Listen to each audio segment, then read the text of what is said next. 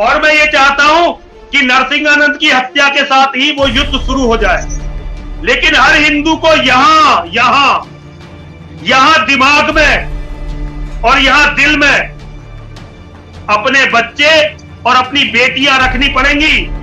शिवम तुम्हारे हमारी दोस्ती को कितने दिन हो गए? तुमने कोई दूसरी बात सुनी है मेरे मुँह से कभी? मतलब ही नहीं आप तो नींद में भी मैं आपके साथ जब वहाँ पे सोए थे हम बाहर गए थे आप तो नींद में भी जिहाद जिहाद बोलते हैं। मैं तेरे दान पर जीवित हूँ।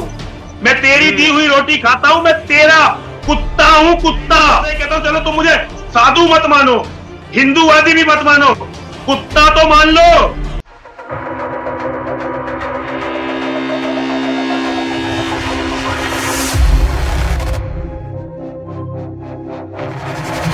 भाई आपसे और पटेल साहब से सभी लोगों से जो भी मेरी बात सुन रहे हैं हम्म। मेरा निवेदन ये है कि दुनिया बच जाएगी अगर सनातन बच गया तो। हम्म। इस समय भारत में जो हमारी सबसे बड़ा खतरा है ना भारत में खतरा सबसे बड़ा यह है कि लगभग लगभग 40 करोड़ हिंदुओं का कत्ल हो जाएगा 40 करोड़ हिंदुओं का। हम्म। और 50 करोड़ हिंदू जो है कन्वर्ट हो जाएँगे इस्लाम में। हम्म। 50 करोड़ हिंदू कन्वर्ट हो जाएँगे। तलवार की नोक जब ये पचास हाँ तल, तलवार की अपने आप डर की वजह से भी। तलवार की भी ज़रूरत नहीं पड़ेगी लोग डर की वजह से कन्वर्ट हो जाएँगे। हम्म। उसके बाद इस्लाम की आबादी। और इस्लाम की ताकत दुनिया में इतनी बड़ी होगी इतनी बड़ी होगी कि दुनिया इसके सामने टिक नहीं पाएगी। हम्म। हमने अगर सनातन को और भारत को नहीं बचाया और इसका जो उपाय है वो केवल ये है कि खड़े होकर सच बोलना बिल्कुल। नंगा सच दुनिया को बताना। आप लोग ये काम कर सकते देखो मेरा मतलब मैं जो आज इतना कड़वा उसका कारण यह है कि मुझे अच्छी तरह पता है कि इस्लाम के जिहादी किसी भी कीमत पर मुझे मार देंगे। हम्म। मैं अपना काम कर चुका हूँ। जितना मुझे करना था हेमंत भाई मैं कर चुका। अब मेरा जितने दिन ज़िंदा रह जाऊँ क्योंकि मैं भी कोई कमज़ोर नहीं हूँ। जिस दिन से मेरे एक तारीख को जो वो जिस दिन से वो हुई थी ना प्रेस कॉन्फ्रेंस और जब से मुसलमानों ने कहा इसे मार दो उस दिन से बॉक्सिंग की प्रैक्टिस कर रहा हूँ। उस दिन से बॉक्सिंग की और पहलवानी की प्रैक्टिस कर रहा हूँ। सारे लड़कों को लगा दिया। सारे लड़के हमारे मंदिर के केवल यही कर रहे हैं कि बॉक्सिंग और पहलवानी और सारे पैसे डाल दिए हथियारों में। जितने भी पैसे कहीं से आ रहे हैं ना, हमने कुछ नहीं बनाया। हम केवल हथियार खरीद रहे हैं, केवल हथियार। जिसका भी लाइसेंस है भाई, खरीद लो हथियार। पैसे हम दे देंगे। ठीक है ना? हमारा केवल इस टाइम जो टारगेट है, केवल ये है कि मुझे जिस दिन मुसलमान जिहादी मारने आएँगे ना तो उन्हें पता चले कि वो किसी को मारने गए थे। तो हम्म मेरी कहानी तो लगभग स्वयं पूरी हो चुकी है देखो। और मेरे में ऊर्जा भी देखो मैं अब क्योंकि अपनी जान बचाना भी अगर मुझे बहुत आसानी से मुसलमानों ने मार दिया और जो मारने में अभी कोई कसर तो है नहीं हम्म। तो शिवम उसके बाद हिंदुओं का हौसला कितना टूटना है इससे केवल महसूस कर सकता। मार तो मुझे देंगे ही। मेरा काम केवल ये है कि मैं बहुत मजबूती से लड़ू और दिलेरी से लड़ता हुआ मारा जाऊँ। मेरा हम्म। केवल इतना काम है। हम्म। तो शिवम मैं आप सभी से कहना चाहता हूँ एक कार्य कर रहा था मैं विश्व धर्म संसद। हम्म। मैं रहूँ ना रहूँ सारे एनआरआईओ को मेरी ये इवेंट सक्सेस करवानी चाहिए। बहुत कम चांस है कि मैं 15 दिसंबर से पहले 15 दिसंबर देखूँगा। इसके चांस ज़ीरो परसेंट के लगभग है ज़ीरो के लगभग। लेकिन मैंने खूब मैं उल्टी सीधी बात कर रहा हूँ, गाली भी दे रहा हूँ सारे हिंदुओं को, लेकिन गाली इसलिए दे रहा हूँ मैं ये चाहता हूँ कि आप सब जीवित रहो, आपके बच्चे जीवित रहें, आपकी बेटियाँ पूरे मान सम्मान के साथ अपना जीवन काटें। ये मत हम्म। देखो कि मैं गाली कितनी दे रहा हूँ। ये देखो कि मैं गाली क्यों दे रहा हूँ और किन हम्म। परिस्थितियों में दे रहा हूँ। केवल ये चाहता हूँ मेरा धर्म बचे। शिवम तुम्हारे हमारी दोस्ती को कितने दिन हो गए? तुमने कोई दूसरी बात सुनी है मेरे मुँह से कभी? मतलब ही नहीं आप तो नींद में भी मैं आपके साथ जब वहाँ पे सोए थे हम बाहर गए थे आप तो नींद में भी जिहाद जिहाद बोलते हैं। तो शिवम मेरा कहना केवल इतना है हिंदुओं से कि विश्व धर्म संसद को ऐतिहासिक बनाओ। मेरे कत्ल के बाद पूरी ईसाइयत का ध्यान मेरे पे जाना है। पूरी ईसाइयत, पूरी यहूदियत, क्योंकि एक एक ईसाई एक एक यहूदी जो इस्लामिक, इस्लाम के बारे में जानता है ना, आज वो नरसिंहानंद को वाच कर रहा है। मेरे से जुड़ो या मत जुड़ो, वो अलग बात है। लेकिन जो विचार में दे रहा हूँ, जो विचार में दे रहा हूँ मैं अपने सभी भाइयों से बेटों से हाथ जोड़ के निवेदन करना चाहता हूँ इस पे मनन करो चिंतन करो और अगर ये ठीक लगे तो इसे एक्टिवेट करो इस पे लग जाओ सारे। इस पे केवल संघर्ष केवल संघर्ष केवल संघर्ष हमारे बच्चों को बचा सकता है।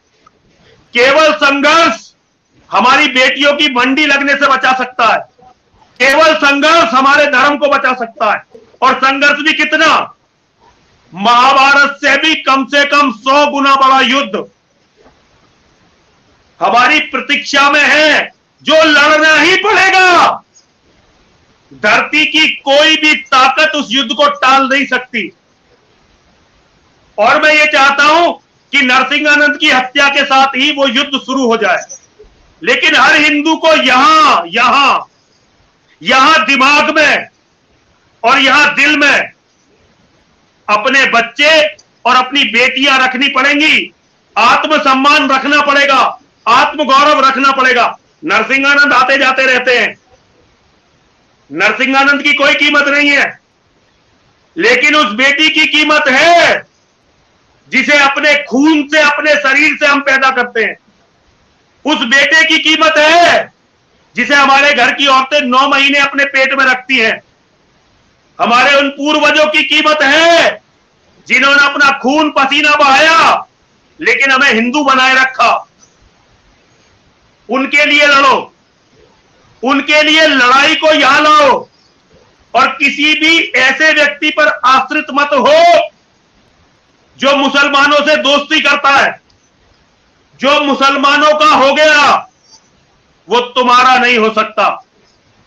चाहे तुम उसके कितने हो लो लेकिन जो एक बार मुसलमानों का हो गया वो फिर किसी और का नहीं हो सकता। वो किसी का नहीं हो सकता और अगर आज भी नहीं समझे तो कोई समझाने वाला फिर बार बार नहीं आएगा और अवतार तो युगो युगो में जन्म लेते हैं। ऐसे ही एक अवतार का नाम है यति नरसिंहानंद सरस्वती जी महाराज। अरे And, नहीं, uh, नहीं नहीं नहीं नहीं ये है गुरुदेव ये है ये इसलिए नहीं है कि आप कैमरे पे ये दुनिया जानती है गुरुदेव। जो आपने बोला कि 20 21 लोग इस लड़ाई को लड़ रहे हैं ये भी दुनिया जानती है कि 20 21 अब दिख रहे हैं। लेकिन गुरुदेव हम तो वो दिन भी याद करते हैं दीपक भाई के साथ मैं रोज यहाँ पे लाइव बैठता हूँ।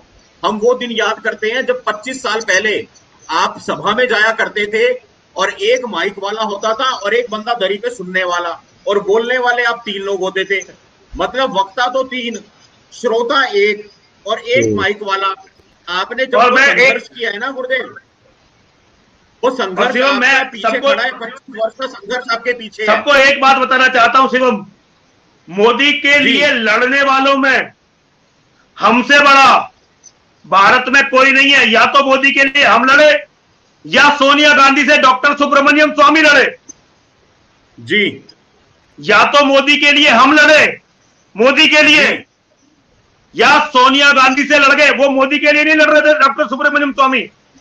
उन्हें सोनिया गांधी से नफरत थी। हम्म। सोनिया से लड़े डॉक्टर सुब्रमण्यम स्वामी और मोदी के लिए लड़े हम। आज जब लोग हमें मोदी का विरोधी बताते हैं ना तो मुझे इतना दुख होता मैं कहता मैं मोदी का विरोधी नहीं हूँ भाई मैं तेरा समर्थक हूँ। मैं तेरे दान पर जीवित हूँ। मैं तेरी हम्म। दी हुई रोटी खाता हूँ मैं तेरा कुत्ता हूँ कुत्ता।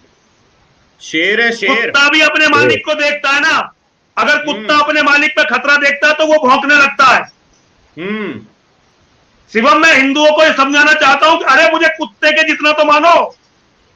मैं हम्म। तुम्हारा दिया हुआ खाता हूँ और तुम पे खतरा देखकर भौंक रहा हूँ। मैं हिंदुओं से कहता हूँ चलो तुम मुझे साधु मत मानो हिंदूवादी भी मत मानो। कुत्ता तो मान लो। केवल इसलिए भौंक रहा हूँ कि तुम खतरे में हो। और मैंने अपने जीवन के तेईस साल केवल हिंदुओं की भीख पर काटे हैं केवल हिंदुओं की भीख पर। हम्म। नहीं, आप बिल्कुल उसको- कह रहे हैं यार आप आप बहुत उसको बड़े मतलब आपने इतने सरल वाक्यों में समझा दिया कि जो तलखी है जो शब्द है वो इसलिए है क्योंकि मैं अपने लोगों पे खतरा देख रहा हूँ। और मैं अपनी आँखों के सामने अपने लोगों को मरते हुए नहीं देख सकता। बावजूद इसके कि मैं जानता हूँ मेरे कुछ शब्दों से नहीं देखना चाहता। सपोर्ट करने के लिए भी लोग बैठे हैं। शायद वो सपोर्ट भी रोक लेंगे but I don't care that thing मेरे लिए सबसे पहले मेरे लोगों की ज़िंदगी है। ये बात आपने बिल्कुल यहाँ पे स्पष्ट करी है। अरे मरन दो। आपको बहुत बहुत आई मीन सबको काफ़ी लोगों को जो हम